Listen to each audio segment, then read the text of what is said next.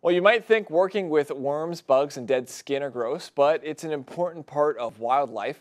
The Fort Wayne Children's Zoo had its Grossology, today, Grossology Day today.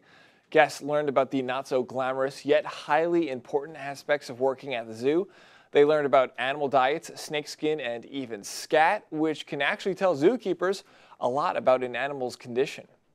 Uh, so if you look at the poop, you can see um, what kind of diets the animals have, um, if they're eating something they're not supposed to be eating, or if they have some kind of uh, parasite or disease, you can tell a lot by their poop. So it's, it's really essential to make sure that all the animals are healthy here.